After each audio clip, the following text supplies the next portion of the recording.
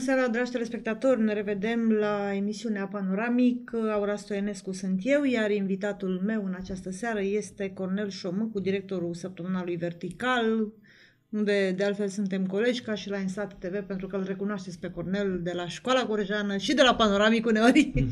mai ales invitatul meu în ultimul timp, pentru că s-a schimbat formatul emisiunii. Da, și bună seara vă spun și eu și având în vedere că sunt uh, să zicem așa, subiecte multe la ordinea zilei, dar cu siguranță cel mai important și de asta ne-am reunit aici, să spunem așa, este semnarea noului contract. De fapt, vechiul contract se prelungește cu mici modificări în cadrul complexului energetic Oltenia, contractului colectiv de muncă. A spune un eveniment important pentru că doar cu câteva zile înainte auzeam că e posibil să avem grevă și alte lucruri. Până la urmă toate lucrurile s-au terminat, să spunem așa, cu pace. Cu pace. Am fost de dimineață la semnarea contractului colectiv de muncă și era o cordialitate extraordinară între sindicate și administrație. Nu părea să fie ceva probleme între ei sau cel puțin în fața presei n-au afișat probleme. Uh, de regulă, cel puțin în ultimii ani, e lipsa de cordialitate, să-i spunem așa, și nu, să zicem așa, mai, mai dur. Mai dur uh, era tocmai în fața presei, pentru că în spatele ușilor închise nu cred că a fost așa un conflict uh, foarte Uh, aprofundat între cele două, între cele două tabere. Mai ales că nici nu se putea, din, să, nu ne, să ne gândim că unii dintre liderii de sindicat uh, au fost angajați în cadrul complexului energetic pe inspector social sau funcții de acest gen. În același timp, uh, noi am avut în situație și cred că CEU își datorează pe undeva și problemele pe care le are de mulți ani, uh, Uh, datorită faptului că au, au avut totdeauna o parte din sindicate poate prea mult prietene, cu ghilimele de rigoare. În sensul că s-au, au beneficiat uh, de sindicate galbene, cum sunt numite ele, care au colaborat dacă pe vremea dinainte de 2012-2013 FNME-ul juca acest rol, după acest rol a venit la rând SMO și tot așa, deci totdeauna au existat niște sindicate care să colaboreze. De data aceasta însă lucrurile par să meargă într-o direcție bună în sensul că Deși avem mai multe federații sindicale implicate în negocierile pentru contractul colectiv de muncă, colaborarea, ă, să zicem așa, cu actuala administrație nu mai este atât, ă, adică nu mai sunt niște sindicate ale conducerii, cum erau de vreme, ă, de exemplu pe vremea lui Ciurel, când se știa că a forțat, a spart sindicatele ca să fie niște sindicate prietene. De data aceasta avem niște sindicate care, cel puțin teoretic, ar trebui să reprezinte pe oamenii din Uh, din sistem, oamenii din uh, cadrul complexului energetic. Într-adevăr, uh, atunci a fost o perioadă când sindicatele s-au trezit fără cotizație, adică nu mai aveau voie să colecteze cotizația, automat nu mai aveau venituri, nu mai aveau fonduri să și facă activitățile și au devenit oarecum dependente de administrație pentru că Uh, înainte și, și acum s-a revenit, uh, se reținea cotizația direct uh, pe statul de plată și se vira în contul sindicatelor de către administrație. Da, au fost foarte multe aberații chiar la nivelul încasării cotizații, să nu uităm, toți sindicatele erau beneficiarele unui procent din fondul de salarii Uh, pe lângă cotizația normală, procentul era de 5,5, dacă mi-aduc eu bine aminte, o sumă foarte mare care intra din conturile complexelor energetice cum erau atunci sau apoi complexul energetic Oltenia în conturile sindicatului, de fapt ale FNM-ului, pentru că asta era FED și USM-ul, cele două structuri sindicale care beneficiau atunci de toate aceste fonduri. S-au început niște dosare care, dosare penale chiar, a început din ce știu eu urmărirea la momentul ăla și nu s-a mai auzit nimic de ele și au trecut de atunci 4-5 ani. Poate că erau banii pentru fotbal? Uh, nu, era vorba de alți bani, pe lângă cei de fotbal. Deci, da. ce vreau să spun că totdeauna, sau la vremea aceea, erau încă foarte mulți bani în, uh, în sistemul energetic și în complexul energetic Oltenia. Acum nu se nu mai, mai prea găsesc pentru, pentru multe dintre acestea. Și dacă o să disecăm mai bine ce au obținut uh, minerii, energeticieni în general, uh, nu e niciun motiv de foarte mare bucurie deci Vorbim nu e, de nou contract? Da, de nou contract. Care nu, sunt nu e o reușită foarte mare. E adevărat însă că e un plus față de anii trecuți. Deci e un deci în ultimii, sindicatelor, da, clar. în ultimii patru ani, uh, practic s-a plecat de la aceleași premise, cu aceleași realizări. Acum, salariile rămân la fel, la fel de mici, însă s-au uh, creat niște bonusuri. E vorba de două prime de 1000 de lei, alta de 950, plus uh, la asta se adaugă plata a sâmbăt, uh, zilor de sâmbătă și duminică, deci în weekend, să plătesc cu aproximativ 87%, ceea ce este foarte bine, ținând cont că, cel puțin din ce știu eu până acum, se plătea o zi normală de lucru. Deci, data aceasta, oamenii care sunt folosiți în uh, în sistem uh, care, uh, care merg la serviciu în weekend vor primi și bani în plus pentru asta. Aici cresc puțin veniturile. Faptul că salariile nu cresc ar putea să fie o problemă pentru cei care se apropie de vârsta de pensionare. Dar pe asta acest sistem se va regla pe parcurs. Apropo de avantajele pe care le vor obține, se păstrează și acel, acea problemă legată de Uh, cota de cărbune, deci se primește o sumă, cei care nu vor să ia cărbunele, de 500 de lei pentru aferent cotei de cărbune pe care și îl vor primi. Deci dacă tragem linie și adunăm, uh, se câștigă undeva la 3500 de lei aproximativ față de anul acesta. De fapt, eu pe fal- an. pe an. E o falsă, să zicem, un fals calcul, dacă ne gândim că au existat prime și în anii aceștia, e adevărat mai mici, dar undeva practic nu se câștigă chiar atât de mult. E însă un avantaj că ele sunt prinse într-un uh, document adițional, într-un act adițional al contra- la contractul colectiv și vor fi și în contractele colective ale fiecărui muncitor. Se mai adaugă un lucru, ziua de naștere a fiecărui salariat va fi zi liberă plătită pentru fiecare dintre salariații respectivi. Și cred că ar mai fi un lucru de câștigat, deși nu s-a precizat din ce am văzut eu pe aceste negocieri. Nu se mai vorbește, cel puțin de moment, de acele perioade de inactivitate, de concedii, de concedii să, să spunem, forțate, când nu, este, când nu este nevoie de producție, deși practic acolo ne îndreptăm de fiecare dată Uh, CEU merge bine iarna, când celelalte, iarna când e iarnă grea, merge bine vara, când e vară grea cu temperaturi foarte mari. În restul anului însă cota de producție coboară sub 1000 de megavați, uh, mă refer la vânzare, cât este și acum în momentul de față. Ca CO să fie rentabil ar trebui să fie undeva, să dea o producție la vânzare undeva peste 1800 de de megawatt oră. Din păcate acum se vinde în sistem, ieri cred că văzusem o statistică sau de la sfârșitul săptămânii, undeva la 1000 de, de megawatt, destul de puțin față de cât ar fi necesar. Dar vorbind despre situația din momentul de față din CEO, cred că este o reușită a sindicatelor dintr-un alt punct de vedere.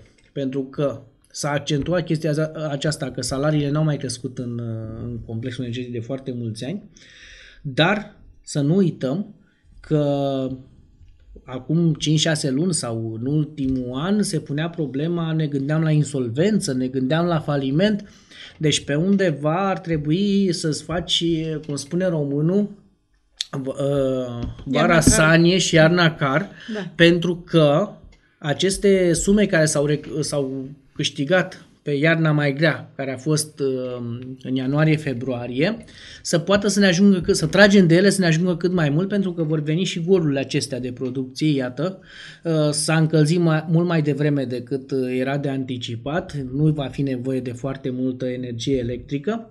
Și mai mă gândesc la un lucru, că această perioadă moartă s-ar putea să fie mai lungă decât în alți ani.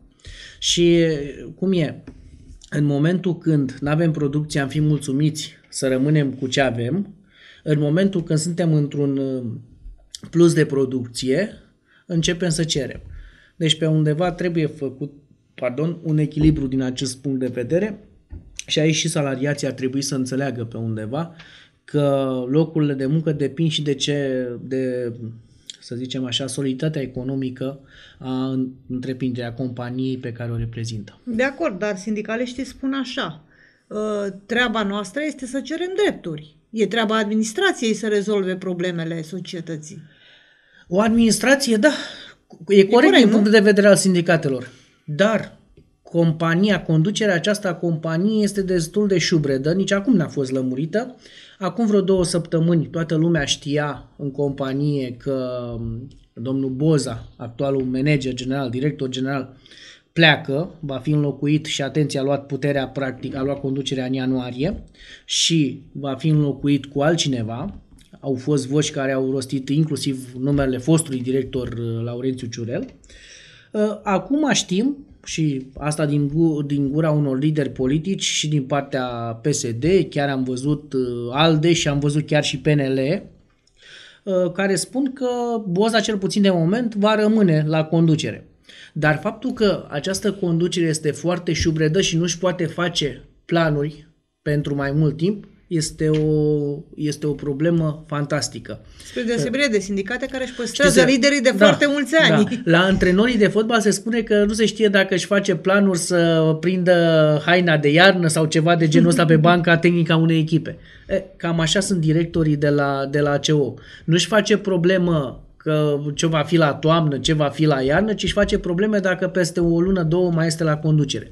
În momentul când ai asemenea probleme, n-ai nicio șansă să-ți faci planuri pentru companie, deci vei merge pe limita de avarie, adică ce o fi, o fi. Dar nu e normal pentru că fiecare dintre ei când au fost angajați se vorbea de un plan de management care a fost aprobat, care ar trebui respectat și dacă respectă planul de management care a fost aprobat și în urma căruia respectivul manager a fost pus pe funcție, ar trebui să n-aibă nicio problemă, nu? Păi, cu excepția lui Laurențiu Ciurel, care a venit pe un asemenea ordonanță, celebră ordonanță nouă, și care cel puțin el a luat acea evaluare pentru manager general, din ceilalți, Ilie, Boza sau ceva, au fost și ei selectați pentru niște funcții, dar nu neapărat pentru manager general la CO. Și o mare problemă din acest punct de vedere.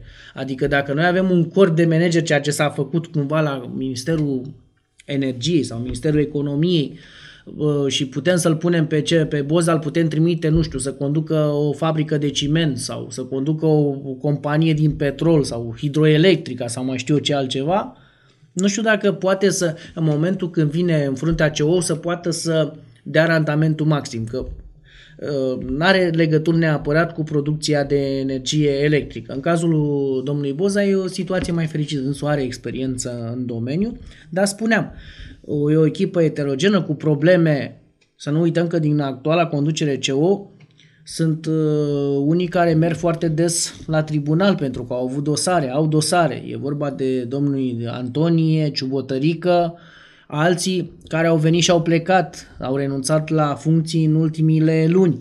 Deci e o anumită instabilitate. Avem un nou Consiliu de Supraveghere. Avem un fond proprietatea care de, prin pozițiile publice pe care le adoptă, ai crede că are interesul de a falimenta uh, compania, nu de a-și apăra interesele și a folosi acele avantaje pe care, pe care le au ca și acționar. Că dacă tu ești acționar și întreprinderea, compania merge bine, procentul tău, averea ta crește. Așa ar fi logic. La noi avem partea cealaltă, după cum uh, reacționează fondul proprietatea, ai crede, deci așa lasă impresia că vreau, vor să vă alimenteze complexul energetic. De Ia, exemplu?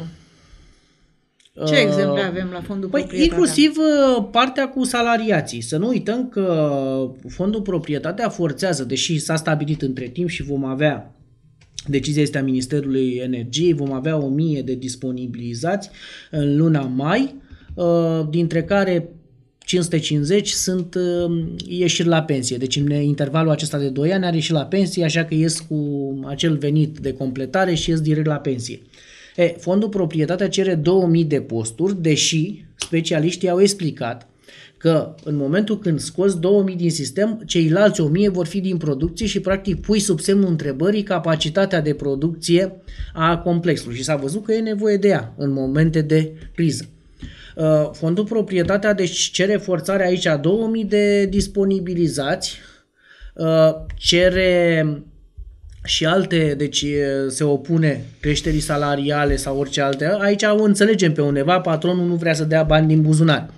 Dar, Sau vrea să-i rămână lui mai mulți. Da, dar la felul cum reacționează faptul că se vorbește de acele investiții în mediu sau ceva de genul ăsta și fondul propriat se opune pentru că ar crește capacitatea complexului de a produce la, la prețuri mult mai mici și fără probleme de mediu. E, cu toate acestea, fondul proprietar se opune la aceste lucruri prin poziții publice, ceea ce nu este în regulă. Da, da, poate se gândește iar așa că trebuie să investească foarte mult pentru, de moment, ca să obțină acele beneficii pe termen lung. Există și, și acest risc. Poate se uneam. gândește doar la banii care are acum în pungă, nu-l interesează păi, ce, nu are, ce că, înseamnă viitorul. Deci, ca și patron să declar că, fond, că complexul nu valorează nimic, deci fond, reprezentanții fondului proprietate au spus că uh, complexul energetic este o păi gaură neagră. Dea, păi atunci să-l dea de pomană dacă, dacă reprezintă păi da, doar o gaură neagră. Problema e că așa l-au primit. Să zic, păi să zic că mâncava sufletul decât să bag eu banii în gaura neagră, mai bine luați-l moca. Luați-l păi, angajații. Luați-l care ați vrea. Din, dacă, din păcate dacă nu, îmi produce pierderi. E, de ce e o logică în, în, în ce spui. Din păcate, cei de la, uh, vă spuneam, cei de la fondul proprietar de multe ori nu prea înțelegi ce vor, ce vor cu adevărat, ce urmăresc, dar senzația este că oricum nu doresc binele complexului energetic și nici, bineînțeles, a celor care lucrează în această entitate. Bine, că și fondul proprietatea nu e Dumnezeu pe pământ. Nu e, reprezintă acționari foarte mulți sunt din afara țării, chiar și dacă sunt români interes... moștenitori Bun, și, ce interes managementul, țării să managementul este energia? încredințat unor manageri străini, nu sunt, în general nu prea sunt uh, nu au legături cu România, deci te aștepta să ei să fie măcar pe principii economice foarte solide, dar din ce am văzut, din um, ce a mai relatat presa centrală în ultimii ani, fondul proprietar are o activitate extrem de controversată, iar valoarea activelor fondului proprietate a, a scăzut constant în toate domeniile, pentru că acele acțiuni ale statului, uh, care sunt la fondul proprietatea, uh, au fost administrate prost și automat um, companiile respective au avut de suferit. Păi hai să ne gândim așa. Avem uh, un administrator străin care ce interes ar avea ca România să aibă independență energetică, de exemplu? Da, putem să gândim așa. Dar administratorul străin care este în fruntea fondului proprietatea, să spunem, sau administrează fondul proprietatea, are tot interesul ca pentru acționarii săi să crească valoarea companiei. Da, da, poate că acționarii să iar câștiga, câștigă în timpul ăsta mai mult din altă parte dacă uh, da, fac ca această corect. companie să nu mai meargă. E corect și asta. Hai să ne gândim, de exemplu, la Lafarge, da? Deci Lafarge avea foarte multe locuri de muncă în România, nu la Farj. Uh, Romcim. Romcim. Fostul Romcim și a fost a cumpărat, fost cumpărat de, de la Farj, care l-a făcut mic, mic, mic, mic, mic până când l-a L-a scos de pe piață cu alte cuvinte. Era Corect. o concurență. Și a devenit doar comerciant. Adică însăcuia, aici la Târgu Jiu, nu știu dacă mai au vreo activitate la ora actuală, deci doar punea cimentul de la francezi în sac, de nu mai făceau praf și fum. Că se știa da. înainte, la Bârsești era plin de... aveai pe case strat de ciment praf de ciment. Acum nu mai e, că nu mai e de unde, nu mai e Poate pentru unii nevoie. Le, le e dor de acea perioadă dacă ne gândim, uh, ne gândim Iată, iar un investitor străin care a făcut în așa fel încât să omoare de fapt concurența din România. Și Spunând acum, că o cumpără și o, o să o ridice. Și acum putem să gândim la fel și mă gândesc doar la faptul că uh, România continuă să fie independentă energetic, Asta să mulțumim uh, conducerii dinainte de 1989 pentru acest lucru, pentru că practic după 89 n-am Nicolae făcut, Ceaușescu. da, n-am făcut nimic în direcția asta, dar uh, să nu, să nu uităm că la momentul de maximum al acestei ierni s-a pus problema la un moment dat și a trebuit elucidată chestia aceea să cumpărăm energie din străinătate, deși capacitățile energetice ale CO puteau acoperi fără probleme și mai aveau și Petromul și altele, aveau capacități pe păcură sau pe ceva ca să poată suplini lipsa de... Cu toate acestea și importat ceva timid, adevărat, în cantitate mică, dar s-a încercat acest de lucru. De ce? Uh, bănuiesc că se, cre- se încearcă crearea unei breșe și uh, un obiectiv din exterior este ca co să iasă de pe piață. De asta se și blochează acel mix de care tot vorbim la fiecare început de guvernare vorbim, dar nu, ne, nu suntem lăsați să facem acest mix. Pentru că în momentul când CO ar ieși de pe piață, România ar fi cel puțin ciclic, în perioada de maxim al iernii sau al verii, ar trebui să importăm pe sume foarte mari din străinătate energie electrică. Păi acum eu ca manager de trei activități, să zicem, gândesc acum din punctul de vedere al managerului, care are trei activități, adică ei au nuclear, uh, hidrotermo, noi avem uh, vertical, ENSA TV, studio, ave studio. Ar fi o mare tâmpenie din partea mea ca manager, având bani în buzunarul studioului și având nevoie la ziar, să nu împrumut ziarul de către studio sau având bani la ziar să nu împrumut televiziunea sau televiziunea să nu împrumute pe celelalte. E pur și simplu un împrumut acel mix. Adică când merge ăla, lasă-l pe el să Corect. pompeze bani în sistem, când merge celălalt, pentru că fiecare are o perioadă a anului mai slabă. Da. Trebuie să fii tâmpit ca manager sau ca, știu păi, eu, minister apropo, de, al energiei să nu poți să faci asta. Păi noi nu putem face. Încercăm acest lucru și dacă mă gândesc bine încă Dar de ce nu putem? De, uh, prima dată, întâmpiți? ideea mixului, ia gândiți-vă, când a apărut încă de când uh, aveam un gorjean. Dinainte de ce? Da. De când era de perio- Manțoc? Da, Ionel Manțoc la... și apoi Cosmin Popescu, secretar de stat la energie. Exact. Deci atenție, este da, vorba de 2007, 2008, 2009 pe acolo, nu? Sunt 10 ani. Da, și iată că nu Ideea reușim e să, foarte bună, nu de ce nu să se facem. pune în practică? De ce? Pentru că nu suntem lăsați. De ce nu Cine suntem nu lăsați? Lasă? Uh,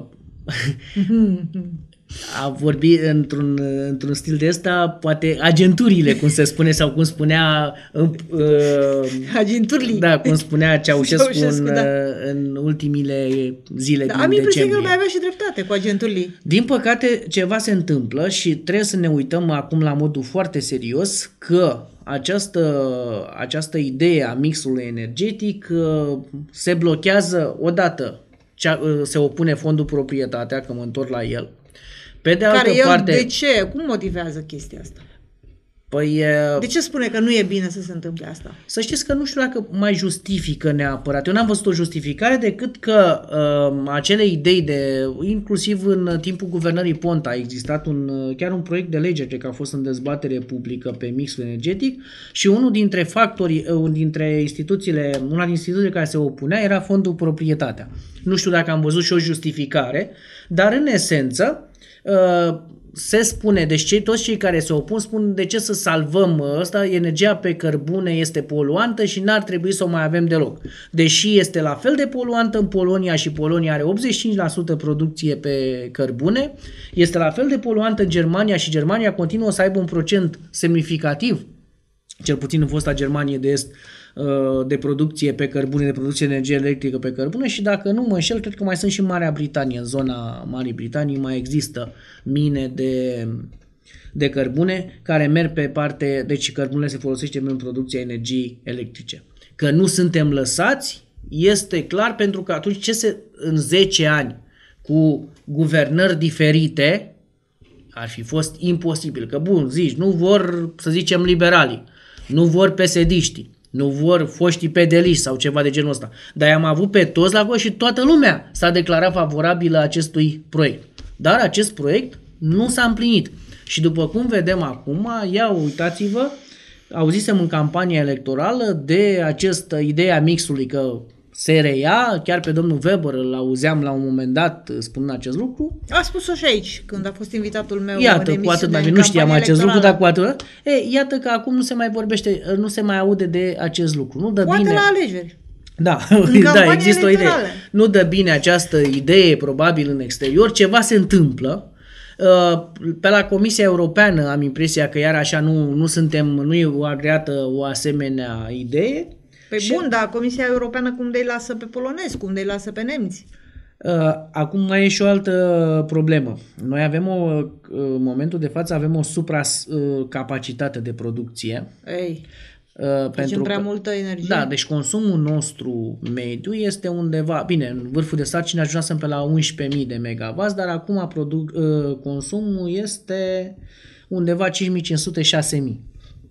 Asta este mediu. Păi să exportăm, care e problema? Nu putem. De ce? Nu există și, apropo, Infrastructură. Țin, da, țin minte de un proiect al fostului senator, între timp membru Curte Constituțională și între timp uh, Văcaru. trimis, uh, nu, uh, Tony Greblă, Ah, între timp cu probleme, uh, am văzut de ce natură, uh, care se vorbea de un cablu pe sub Marea Neagră sau de o rețea care să traverseze pe, prin mai multe țări. Nu s-a făcut nimic din acest lucru. Deci păi noi, de practic, ce trebuie să noi trecem nu putem, Marea Neagră când granița e așa de, de mică noi nu putem, pe pământ? Deci infrastru, infrastructura noastră nu ne permite să exportăm decât în uh, cantități și nici să importăm. Asta, pe partea asta e și un avantaj. Nu ține infrastructura așa e construită, deci ar fi nevoie de investiții masive în rețele, pentru că rețelele sunt foarte vechi și n-au capacitate Și foarte atunci mai mare. bine să nu mai producem dacă putem. Uh, Păi uh, producem, uh, să știți că am fi și și competitivi. La acest, uh, la prețurile de producem noi în momentul de față, inclusiv complexul energetic Oltenia, uh, batem polonezii. Iar dacă Deci, ar fi apropo mixul de producție. energetic, ar fi mult mai mic Ar fi, prețul. și mai, ar fi și mai bine, dar probabil de asta nu suntem uh, uh, lăsați, pentru că prin mix am venit cu, o- uh, am Un putea preț veni foarte cu, mic. da, cu un preț foarte mic și la un moment dat cineva s-ar fi dispus să facă acea infrastructură ca să ia energie electrică de la noi. Cred că și asta poate fi o explicație. Dar de ce trebuie să ne lase cineva ca să facem asta? Deci noi suntem Pentru- o țară, avem un stat, avem un guvern, Pentru avem că un în momentul, parlament, în momentul majoritar parlament. Nu mai poate să zică nu mă lasă opoziția, frate, ca să zică că n-am făcut când, treabă. nu, e, nu e problema de opoziție. Din păcate, tocmai că n-are din cum să fie păcate problemă de intrarea în opoziție. Uniunea Europeană a avut și Dezavantaje. dezavantaje. Unul din acestea pare să fie legat de politica energetică a statului român, care nu se prea face la noi, chiar dacă nouă ne place și în campanii spunem unele lucruri, după aceea nu se mai transformă în realitate. Dar de ce? Adică a spus Uniunea Europeană nu României când a fost vorba de mixul energetic, a spus pe hârtie. Trebuie să cerem voie la, la Pe Uniunea hâr- Europeană? Pe hârtie nu. nu. Nu știu dacă Uniunea chiar ne condiționează acest lucru, dar avem politicieni în România care da, uh, sunt obișnuiți să li se spună ce să fac. Și ei se duc. Haideți să o luăm acum. Avem, de astăzi a început o vizită oficială a fostului premier Dacian Cioloș la Bruxelles. Deși, atenție, este persoană... Fizică. Da, o persoană fizică, pe persoană fizică, S-a dus pe în persoană care se fizică. întâlnește cu L-am președintele... văzut că era singur săracul la aeroport, Îl- îl- într-un și- plover. Da, și la, l-am văzut toți că a mers cu low cost-ul. Ei, na. Da, bine. Asta, asta la coadă. Da, data trecută mergea, deci când era premier, mergea cu taromul la, uh, la business, acum merge cu low cost-ul. Păi nu mai are salariu așa de mare. Păi uh, salariul de la Comisia Europeană e la fel de mare, Da. 1000 și ceva de euro, pe că a fost comisar european, încă, mai la, încă îl mai are. Dar nu altceva vreau să zic. Și merge, se întâlnește cu președintele Comisiei Europene, cu președintele Parlamentului European, cu nu știu câți comisari, în, can- în, ca persoană calitate. fizică. Deci merge să bea o cafea. Cam asta se întâmplă. Vreau să, fără să fiu rău, cam asta au făcut și Ponta la Bruxelles, bine, dacă n-au fost urecheați așa, și Grindeanu și alți politicieni, miniștri care s-au mai dus Unii și-au făcut uh, câte să un mă selfie. Da, au, uh, s-au întâlnit, au Ca să făcut se vadă câte în o spatele conferință lor, de presă. așa că e- Inclusiv, inclusiv uh, președintele Iohannis, de la care așteptările erau foarte mari pe partea cu uh, cu Uniunea Europeană, cu Comisia Europeană, cu dar lucrurile nu se văd. Germania nu ne ajută la modul evident, nu, ved, ne, nu vedem că avem un avantaj că am fi mai apropiați de Germania, iar din alte puncte de vedere, Schengen-ul nu s-a rezolvat, uh, ba din contră, MCV-ul nu s-a ridicat și la ritmul cum mergem s-ar putea să ne trezim acum și cu infringement pe buget și pe celelalte, pentru că, deși la unele țări, gen Spania, Franța, se permite un de- și de ani de zile li se spune să se încadreze în 3% de deficit, ele merg în continuare aceste țări cu 5, cu 6, fără nicio problemă și se dezvoltă, în timp ce noi, anul trecut, și mai ales acum 2 ani, am mers pe un deficit de 1 și ceva la sută, care ce înseamnă? Înseamnă că am blocat orice, într-adevăr, să zicem pe hârtie asta bine, dar practic am blocat dezvoltarea. Cu toate astea, economia românească s-a încăpățânat să crească. Iar în acum, condițiile în care anul trecut n-am avut fonduri europene. Da. Păi nici, anul, nici, anul acesta, nici anul acesta nu cred că vom avea, pentru că sunt două mari probleme. Pe de o parte, fondurile europene se accesează în România mult mai greu decât în alte țări europene. Din cauza că, României. Din cauza României. Și a birocrației din da. România. Pe de altă parte, uh, cred că se mai întâmplă un, uh, un lucru așa apropo de, de fondurile europene.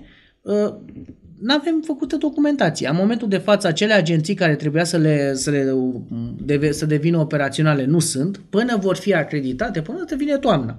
Deci oricum, chiar dacă, să zicem, vor fi operaționale acest an, proiectele sau banii vor intra în România cel mai devreme anul următor. Dar spuneam că nu o să mai fie, că avem o mare problemă.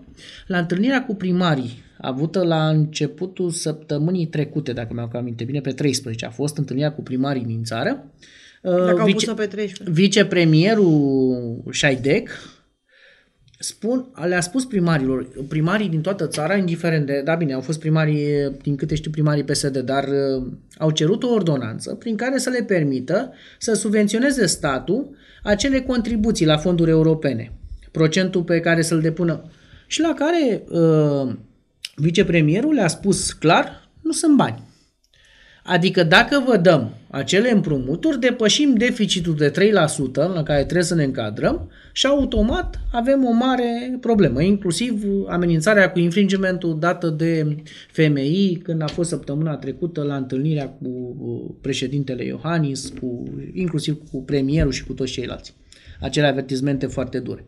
În aceste condiții, e clar că fonduri europene nu vom avea prea multe în acest moment, iar pe partea cealaltă, apropo de ideea cu această creștere de 5,2% la cât e anticipată în buget, ca să se realizeze toate aceste lucruri, nu cred că va mai putea fi posibilă din mai multe puncte de vedere. Unu, care se va sparge cu clar în capul actualilor guvernanți, dar vina aparține uh, președintelui Iohannis, este întârzierea instalării Parlamentului, uh, pardon, guvernului. guvernului și atenție, întârzierea bugetului. bugetului. Practic, păi a zis el după Crăciun. După Crăciun l-a făcut. Da, păi N-a spus când. Haide, noi suntem în momentul de față în care primările din tot județul abia acum și aprobă bugetul. Încă nu. În perioada mai asta. Mai durează. Da. Pe urmă se duc el la finanțe, pe urmă mai întorc finanțele, că Bun. parcă n-au mai pus o virgulă și deci, oh, practic, până toate, când operațional mai e. Toate investițiile primăriilor de acum încep faci licitații, deci proiecte de studii de fezabilitate, licitații. Deci, practic, anul ăsta e pierdut din foarte multe puncte de vedere. Atunci de unde să ne vină creșterea? Aici e întrebarea, deci va fi un an foarte dificil, cel puțin în a doua parte a lui. Din a, însă, apropo de și de situația din complexul energetic Oltenia, dar și din uh, viața economică din Gorj, și totuși, și totuși, sunt semne, și aici mă refer la managerii de companii multinaționale, care am văzut un sondaj acum făcut uh, la nivelul lunii martie, care nu numai spun că nu se retrag din România, chiar dacă a crescut salariul minim, și cum eram manipulați în ultimile săptămâni, că leu ce se va întâmpla, dar toți prefigurează, deci peste 45% dintre ei, 45 și ceva, cred că am reținut cifra corectă, uh, anticipează angajări și angajări uh, substanțiale pentru uh, companiile lor în România. Ceea ce înseamnă că salariul minim nu este, nu este o problemă neapărată dacă restul din lucruri, adică anumite reglaje în economie se fac, uh, reducere TVA și toate celelalte. Deci, cred că sunt încă premise să fie un an nu bun, dar în orice caz, un an de supraviețuire. Pentru că la acest moment ai senzația că asistăm la... adică toată lumea așteaptă o catastrofă. ai senzația asta de cum ne uităm la televizor, ce? depinde de asta. Dar de ce? Se... Unii și-o doresc. Unii Unii și-o și-o doresc ca doresc. să spună, inclusiv politicieni, să spună, "A, am avut eu dreptate, iată ce, s-a, iată ce s-a întâmplat, nu mai aveți bani să plătiți pensii, salarii, nu știu ce. Bine, asta poate e opoziția, dar uh, sunt foarte Uh. mulți la putere. Ei trebuie să găsească soluții, că de asta i-am pus acolo. Normal. Nu, Noi ei, românii. ei deocamdată, anti, uh, cei de la putere, dacă, deși există și pe acolo, că am văzut că e... Uh, Fracționare. Da, există practic, uh, cu excepția UDMR-ului, în toate partidele politice românești, că la guvernare sau în opoziție, există uh, cel puțin două Tabere. tabere. Cel puțin două. E, în aceste La condiții... PSD câte sunt acum? Păi la acest moment, dacă luăm uh, de bune titluri de apar în ziare, sunt trei. Una, Și le cea luăm mai, de bune. importantă, e, cea mai importantă e în jurul lui Dragnea, actualul președinte, una în jurul lui Ponta, care a fost și va fi totdeauna un nume important în PSD, și se configurează la acest moment și încer, uh, adică încre- uh, înclin să cred o asemenea idee, că uh, se, uh, și uh, Grindeanu, premierul Grindeanu, începe să aibă și el tabăra lui. Mai ales că... Păi l-au scos din anonimat, uh, l-au pus prim-ministru și acum își face tabără, e corect? Acum, uh, Că nu știa nimeni cine e Grindeanu, să fim serioși. deocamdată tabăra, da, uh, știam că a fost ministrul comunicațiilor, era un A, personaj, e dar un foarte, fel a obscur. fost urcat, dar în același timp uh, se pare că are și agentă proprie, Mă refer pe o colaborare, s-a speculat și pe de, de un pact secret al lui cu președintele Iohannis, dezmințit de ambele părți, lansată ideea de Victor Ponta, dar uh, în același timp uh, cred că nu sunt din aceeași aluat, cel puțin diferența între Liviu Dragnea și Grindeanu, care teoretic e premierul pus de Dragnea sau premierul lui Dragnea, începe să se vadă. Nu exclud să fie o strategie de imagine a celor din PSD, prin care să-l arate pe Grindeanu că n-ar avea, adică să-l să-i facă un, să zicem așa, o poziție care să nu fie suspect, ar fi tras de sfor coordonat de către Liviu Dragnea. Frate, e odată foarte... ce a fost pus de PSD, pot să spună ei cât ori vrea. Nu, faza e că... Adică de face ce vrea și nu-l dă PSD-ul de, jos? De Grindeanu s-a spus că este, nu s-a spus că e premierul PSD-ului, ci că e omul lui Dragnea. Cred că asta e, e strategii problema. de imagine din PSD, PSD asta încearcă da. să facă și de să asta nu merg... de Dragnea. Da, să-l separe nu ca neapărat... Imagine. Da, ca imagine. Ca imagine. Ca imagine. Pe de altă parte, nu exclud nici varianta cealaltă ca strategia de imagine să fie aplicată de Liviu Dragnea, pentru a lăsa la momentul când, să zicem, dintr-un un, la un moment nefericit, să asistăm la varianta în care, să zicem, guvernul pică, situația economică se blochează și atunci dăm vina pe Grindeanu omul de sacrificiu și Liviu Dragnea iese curat și uscat și vine cu altă soluție. Sau se pregătește de prim-ministru pentru că Curtea Constituțională încă nu ne-a spus dacă poate să fie prim-ministru sau nu, dacă legea este constitu- uh, constituțională sau nu, cea în care Uh, legea care spune, încă de pe vremea lui Năstase, că un uh, condamnat penal nu poate să ocupe funcție de ministru. Nu de premier, ci chiar, chiar de simplu ministru. Da. Și, și s-a amânat deocamdată Să ne întoarcem la CEO al nostru, că după ce am făcut așa un tur de orizont în toată țara, ne întoarcem la CEO și aș vrea să vedem uh, Astăzi se puneau așa niște întrebări de către presă legat de exploatările din Gorj, din vecini, adică Mehedinții, Vâlcea. Disponibilizările vor fi pe placul sindicatelor s-au împăcat sindicatele cu ideea că se fac disponibilizări pentru că chiar dacă pleacă oamenii care uh, se pensionează. Doar o parte dintre ei. O parte, da. da? Ăsta nu este un motiv pentru sindicalist să zică nu e o problemă, pentru că, să fim serioși, sunt niște locuri de muncă pierdute. Da, și uh, deja suntem, uh, se plâng cei care lucrează în minerit că pe circuitele de benzi, în anumite cariere, sunt probleme, sunt deja foarte puțini oameni care lucrează pe partea de producție. Deja e o, reducerile s-au dus la extrem și mai pleacă încă o mie de oameni și care, deci majoritatea din producție sunt și din TESA de data aceasta, dar în procent destul de, de redus. E o problemă din acest punct de vedere. cu siguranță vor fi afectate exploatările, dar noi cred că e o altă problemă a complexului, n-am vorbit de ea, dar mi se pare mai grea sau mai dificil de rezolvat decât cea economică sau decât cea a disponibilizărilor. Și mă refer aici la problemele de mediu. Avem acele organizații internaționale, acele ONG-uri finanțate mai mult sau mai puțin ocult, Greenpeace-ul și toate care gravitează în jurul lor, care merg pe ideea că complexul poluează, s-a blocat deja zona Lupoaia, se vor bloca probabil și alte cariere, deja am avut problemă la depozitul de cărbune de la Rovinari, că poluează, că nu au voie să n-au acorduri de mediu, să nu se mai taie, să nu se mai creeze fronturi de lucru și deja avem uh, majoritatea carierelor sunt uh, aproape de limita de exploatare, nu din cauza că n-ar fi rezerve, ci din cauza că nu mai pot să continue exploatarea, că e nevoie de alte perimetre care nu pot fi obținute pentru că nu mai acord de mediu, de exemplu. Și este o mare problemă din acest punct de vedere.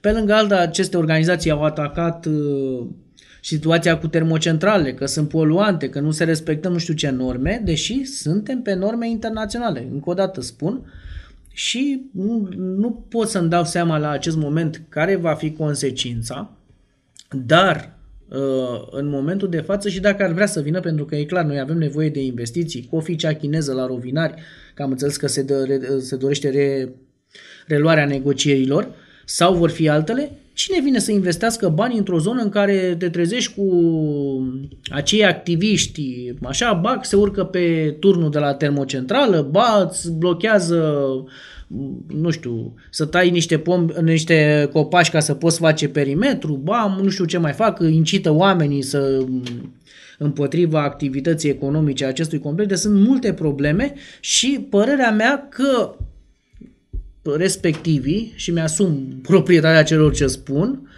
uh, au, sunt finanțați de cineva ca să facă rău. Că nu cred eu că e apucat pe nu știu unde, nu știu ce activist din Germania sau ceva de genul ăsta, dragul de mediu din România și uite, domne, ăștia sunt uh, niște nenorociți din România, fac atât de mare rău mediului. Că nu se întâmplă chestia asta. Sau salvăm pădurile. Deci nu vedem că munții noștri pleacă în străinătate în continuare, dar vedem că se taie câțiva copaci la lupoaia sau mai știu eu altceva ca, să, da, ca să faci o extindere de perimetru. Deci nu e în regulă. Pe de altă parte, însă, trebuie să recunoaștem faptul că redarea în circuitul agricol al Halderol, de exemplu, în momentul în care s-a încheiat o exploatare într-o anumită zonă, nu se prea face în regulă. Adică, uh, ok, uh, tăiem niște arbori uh, din interes național, să spunem, da? E un interes național să producem cărbune, da? Că oferim niște locuri de muncă cu ocazia aia, de acord, dar nu pentru aia tăiem arborii și pentru că avem nevoie de energie. Bun. Dar după aceea, CEO a avut mereu probleme cu redarea în circuitul agricol al uh, suprafețelor uh, transformate în halde și care trebuiau după aceea cultivate nu știu câți ani la rând, încorporate, vege- acele vegetale și după aceea plantare și așa. Foarte puține sunt haldele care au fost plantate și care au fost redate în circuitul agricol. Practic, în ultimii ani a cam fost abandonată un asemenea tip de activitate. Nu se prea mai vede, deci rămân așa ca după selenar, deci te uiți ce, ce a rămas după exploatări și bănuiesc că uh, Uh, nu sunt bani pentru aceste, aceste lucruri, dar continuare ne arde cel mai mult în momentul de față crearea noilor perimetre, că bun, S-a creat un, uh, avem nevoie să zicem de complex, facem și mixul, e nevoie de producție. Dacă noi nu mai putem să ajungem la cărbune, care va fi soarta? Deci e o mare problemă din acest, uh, din acest punct de vedere. aș vrea să mă refer foarte pe Mai scurt. avem câte puține, câteva da, minute. Uh, la, la situația de s-a hotărât uh, astăzi, tot prin contractul colectiv, sau nu prin contractul colectiv, o recomandare a ministrului um, Toma Popescu, ministrului energiei, către managementul complexului energetic, a fost să se renunțe la activele care nu produc uh, care consumă și nu produc, gen stadioane de cu întreținere, cu impozite, alte biserici și alte lucruri. E, aici avem o mare problemă, sunt uh, vetre de sat care nici acum n-au fost cedate către proprietarii respectivi sau către uh, administrațiile locale, inclusiv la Târgu Jiu, inclusiv la Bălești, inclusiv uh, pe unde mai sunt ele prin județ, pe la Rovinar și pe unde mai sunt.